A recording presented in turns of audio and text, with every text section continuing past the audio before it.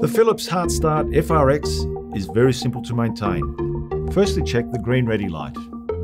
If the ready light is blinking, the defibrillator is ready for use. If the green ready light is off, or you hear a pattern or single chirps, the blue button will be flashing and the defibrillator will tell you what to do next. The smart pads are designed to last for up to two years. The expiration date is printed here.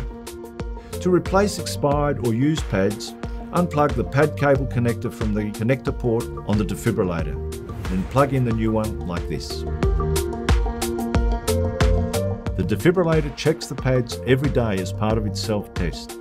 If, for any reason, the pads are no longer good, the defibrillator will start chirping and the green ready light will turn off. The battery used in this defibrillator normally lasts for about four years. When battery power gets low, the defibrillator will start chirping at you. The battery is not rechargeable and must be replaced with a new one. After you put the battery in the defibrillator, the self-test checks it every day. When the defibrillator is turned on for use, a new battery will normally last for 4 years or up to 200 shocks. It is recommended to do a daily check on your defibrillator. If the green light is not flashing, it could mean something is wrong with your unit. It may not be first aid ready. It is important to call Philips for any technical support.